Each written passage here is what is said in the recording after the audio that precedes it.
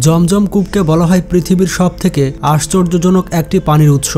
প্রতিদিন এই জমজম কূপ থেকে সাড়ে চার লক্ষ লিটার পানি বের হয়ে থাকে। সাধারণত কুয়া থেকে পানি তুললে সেই কুয়ার পানির স্তর আস্তে আস্তে নিচে নামতে থাকে। কিন্তু জমজম কূপের বিষয়ে বললে সেটি সম্পূর্ণ আলাদা। ইব্রাহিম আলাইসাল্লাম থেকে এখন পর্যন্ত এই জমজম কূপ থেকে পানি পান করা হচ্ছে। তারপরও এই জমজম কূপের পানির স্তর এখনও পর্যন্ত আগের মতোই আছে। বন্ধুরা, জমজম কূপের আসল রহস্যই বা কি? কেন এই জমজম কূপের পানি কখনোই ফুরায় না। এই কূপের ভেতরে আসলে কি রহস্য লুকে আছে? তো জমজম কূপের পানি কেন এত পরিষ্কার? আর এই কূপের পানির পেছনে আসল রহস্য বা কি? তাই জানব আজকের এই ভিডিওতে। তো এই সব কিছু জানতে হলে ভিডিওটি শেষ পর্যন্ত দেখতে থাকুন। আর যারা চ্যানেলে নতুন, তারা এখনই সাবস্ক্রাইব করে পাশে থাকা বেল আইকনটি ক্লিক করে দিন। বন্ধুরা, জমজম কূপের পানিকে একটি রহস্যময় পানি বলা হয়ে থাকে। ইসলাম ধর্মের মানুষের কাছে এই জমজমের পানি পৃথিবীর সব থেকে পবিত্র পানি এবং এই পানিতে সব ধরনের রোগের নিরাময় রয়েছে।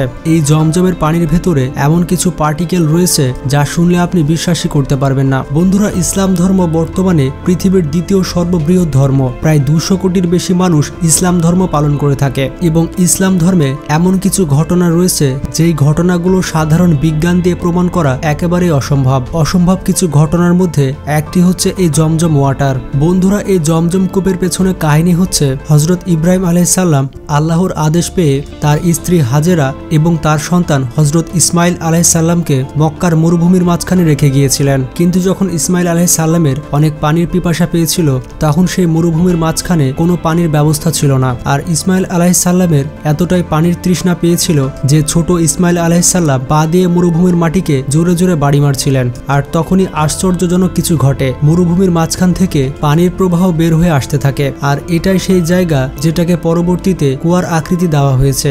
আর এই জমজমের পানিকেই মক্কা মদিনায় যত হাজিরা যায়, তারা পান করে থাকে। তারা সেখানে এই জমজমের ওয়াটার পান করার সাথে সাথে তাদের দেশে বোতলজাত করে নিয়ে যায়। কারণ মুসলিমরা মনে করে, এটি পৃথিবীর সব থেকে পবিত্র পানি। বন্ধুরা, এখন আপনারা মনে করছেন যে মরুভূমির মাঝখানে এত পানির প্রবাহ থেকে আসছে? বন্ধুরা, জমজম কূপ নিয়ে এই পর্যন্ত অনেক গবেষণা করা হয়েছে। অনেক বিজ্ঞানী রিসার্চ করে বলেছে যে জমজম কূপের যে পানি আসে, সেগুলো মক্কার পাহাড় থেকে বয়ে বয়ে আসে। আসলে বন্ধুরা, এই পানির সৃষ্টি হয় যখন ইসমাইল আলাহিসাল্লাম পা দিয়ে জোরে জোরে মরুভূমিতে বাড়ি মারতে থাকে। বর্তমানের বিজ্ঞানীরা এই জমজম কূপকে দেখে সত্যি অবাক হয়ে গিয়েছে।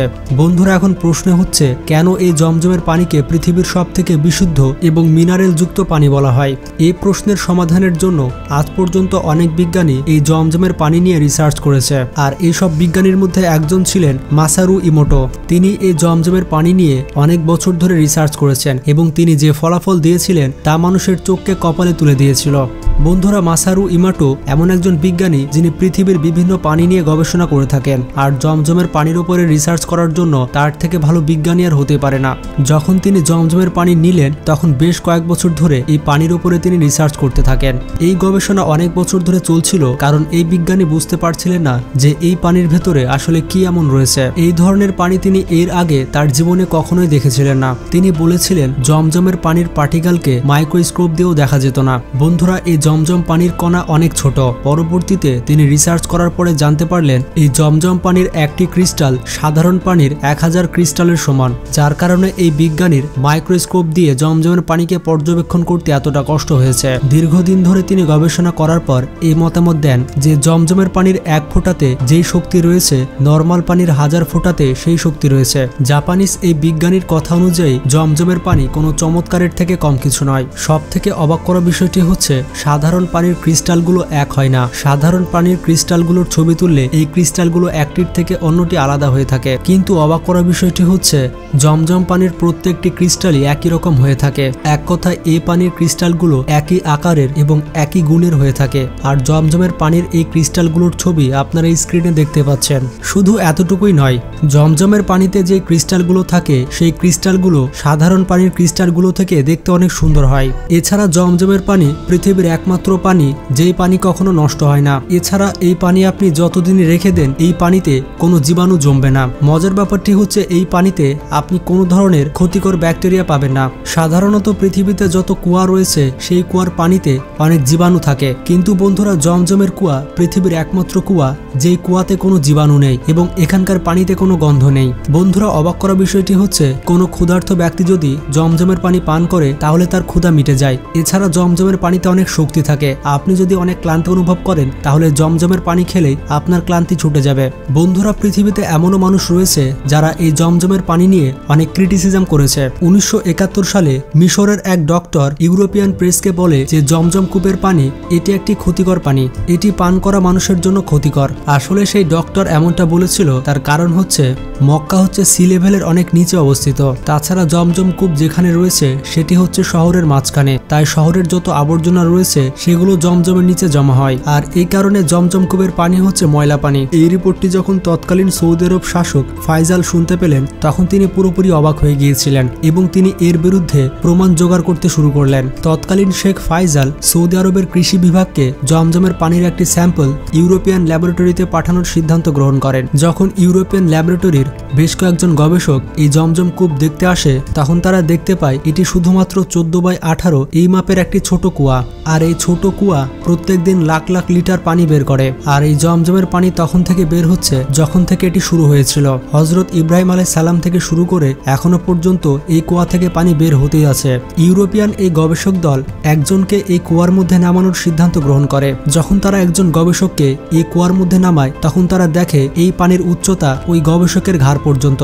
সেই গবেষকটি কুয়ার ভেতরে এক জায়গা থেকে অন্য জায়গায় খুঁজতে থাকে যে জমজমের পানি কোন পাশ দিয়ে আসছে। সেই গবেষকটি পানির মধ্যে ডুব দিতে চেয়েছিল, কিন্তু সৌদি সরকার জমজম কূপের ভেতরে কাউকে ডুব দিতে দিত না, যার কারণে ওই গবেষক বলতেই পারে না যে জমজমের পানির উৎস কোথায়, কোন পাশ দিয়ে এই পানিগুলো আসছে। এই সমস্যার সমাধানের জন্য তিনি দ্বিতীয় উপায় খুঁজে বের করেন। তিনি ওই কুয়া থেকে পানি বের করার জন্য বড় বড় পাম্প সেট করেন, যাতে সেখান থেকে পানি বের হয় এবং পানির স্রোত দেখে বোঝা যাবে পানি কোন পাশ দিয়ে আসছে। বন্ধুরা, এমনটি করার পরেও কোন পাশ দিয়ে পানি আসছে সেই গবেষকটি সেটি খুঁজে পায়নি।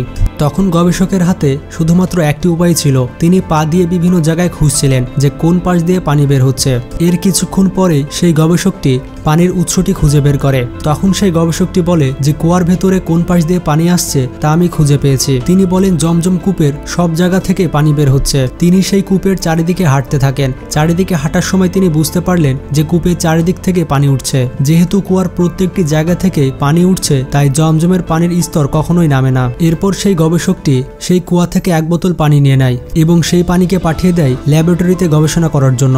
ল্যাবে দেখা যায় যে, মক্কার সাধারণ পানি এবং জমজমের পানির মধ্যে ক্যালসিয়াম এবং ম্যাগনেসিয়ামের পার্থক্য রয়েছে। জমজমের পানিতে এই দুইটি জিনিস অনেক বেশি ছিল।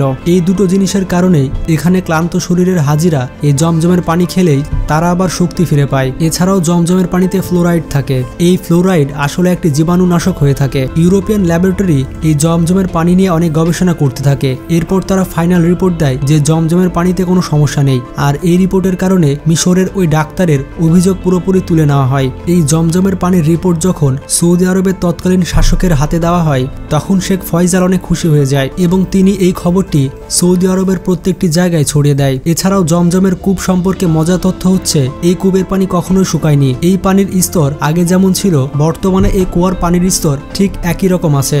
যখন যখন সৌদি আরব সরকারের যতটা পরিমাণ পানির প্রয়োজন হয়েছে, এই কুয়া ততটা পরিমাণ পানি সরবরাহ করেছে।